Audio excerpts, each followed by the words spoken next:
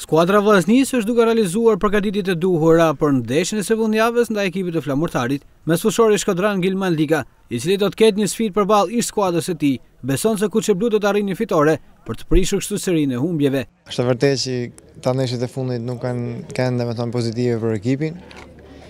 Po shpresojmë që këtë ndeshjen e radhës Që të marrim të kthena sa më shpejt, domethënë të rezultat pozitiv. Edhe mase gjendja e ekipit nga ana psikologjike të qetësohet pak. Për sa i përket humbjes dhe akuzave të shumta, Lika pranon se ka patur një ndikim në moralin e skuadrës. Normal që ka pasur atë ndikimin e vet çdo gjë.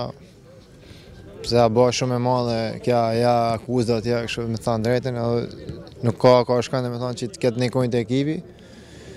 Po tashi ata kanë kalu, domethënë neshjet dhe rezultatet e tyne nuk mund kthehen më mrapa, dhe shpresojmë që te kjo e radhës bëhet domethënë diçka pozitive për ne. Ndërsa përmbysja e rezultatit në kupën e Shqipërisë, mbetet një shpresë për t'u realizuar. Çdo neshje që him him për ta fitu neshjen, sigurisht që nuk dëmën që rezultati momentalisht i favorizon pak ata, por futbolit nuk i dihet kurrë domethënë, 90 minuta janë dhe do him atje në fushë për të bërë maksimumin.